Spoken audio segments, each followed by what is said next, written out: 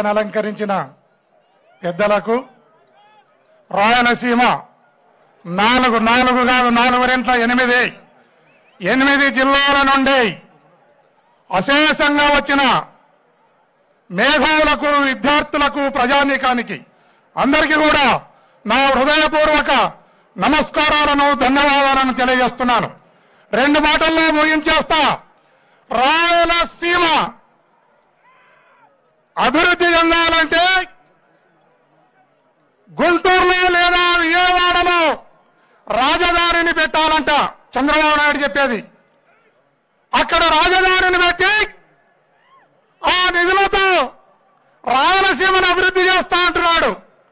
నాకు జ్వరం వస్తే గోరడ్ల మామం అనే నాకు జ్వరం వస్తే బుగ్గల రాజేంద్రనాథ్ రెడ్డికి ఇంజక్షన్ వేస్తా మందులు ఇస్తా బుగ్గల రాజేంద్రనాథ్ రెడ్డికి గుడ్లు పెడతా మాంసం పెడతా అంటున్నాడు. అయ్యా వచ్చినది జ్వరం నాకు. నువ్వు బుగ్గల రాజేంద్రనాథ్ రెడ్డికి ఇంజక్షన్ వేస్తే ఎట్లా?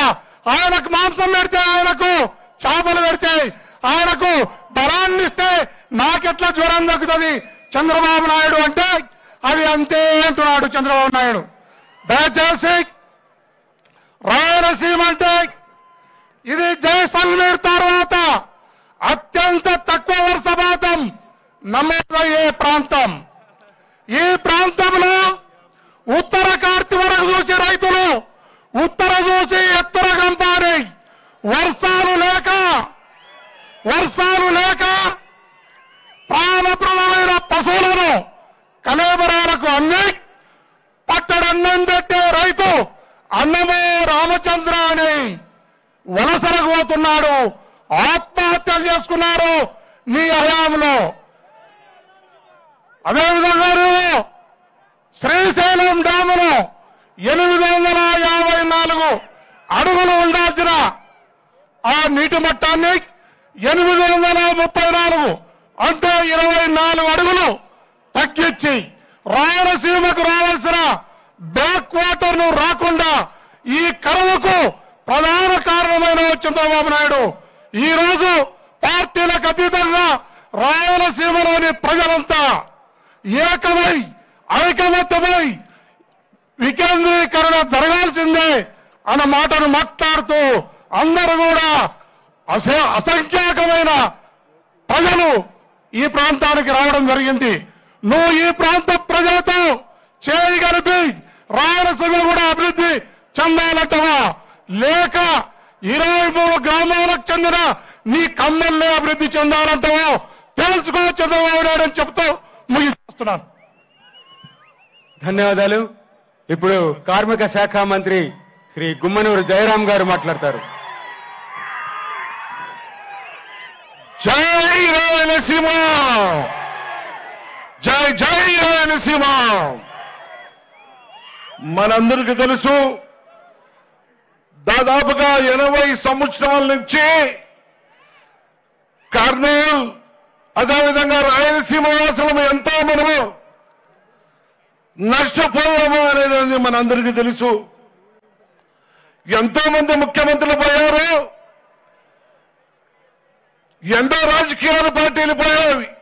కానీ మన రాయలసీమకి న్యాయం జరిగింది లేదు. ఇప్పుడు ఒక మగాడుగా మన జగనన్న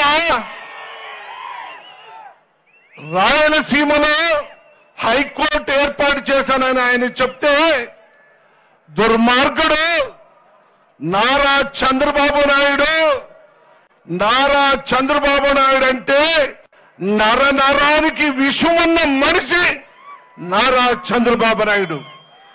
ఏమయ్యా నారా చంద్రబాబు నాయుడు? మా కర్నూలులో హైకోర్టు వచ్చి అభివృద్ధి చెందితే నీకి ఏ మాత్రం కూడా సంతోషం లేదా అని నేను అడుగుతున్నా. నారా చంద్రబాబు నాయుడికి రాయలసీమలో రక్తంలో పుట్టింటే మా రాయలసీమలో మా కర్నూలులో హైకోర్టు ఏర్పాటు చేసేదానికి మద్దతు ఇస్తావు. లేదా నువ్వు రాయలసీమ రక్తం పుట్టినవంటే నువ్వు వ్యతిరేకిస్తావని చెప్పేసి నేను సందర్భంగా నేను మనవి చేసుకుంటున్నా. ఈ రోజు ఒక మాట ఒక్క ఫిలిం ఇండస్ట్రీస్కి నేను చెప్తున్నా. ఒక్క ఫిలిం చిత్రసీమకి నేను మనవి చేసుకుంటా. అయ్యా చిత్రసీమ పరిశ్రమలారా హీరోలు ఎంతో మంది ఉన్నారు. మీ అందరికీ ఒక మాట నేను ఒక రాయలసీమ బిడ్డగా అడుగుతున్నా. మీరు ప్రతి సినిమా చూ ప్రతి సినిమా తీసినా కూడా కర్నూలు కర్నూలు అంటారు కదా. మీరు వేల కోట్లు సంపాదిస్తున్నారు కదా. చిత్రసీమ పరిశ్రమలు మీరందరూ ఏకమై మా రాయలసీమలో మా కర్నూలులో హైకోర్టు తీపి మీరు డిమాండ్ చేయాలని చెప్పి ఈ సందర్భంగా ఫిలిం వాళ్ళకి నేను అడుక్కుంటున్నా. ఈ చంద్రబాబు నాయుడు ఆయన ఒక్క దగ్గర అభివృద్ధి కావాలని అడుగుతున్నాడు కదా. ఆ చంద్రబాబు నాయుడు గారికి ఒత్తాసి వరకే పవన్ కళ్యాణ్ కూడా అడుగుతున్నా.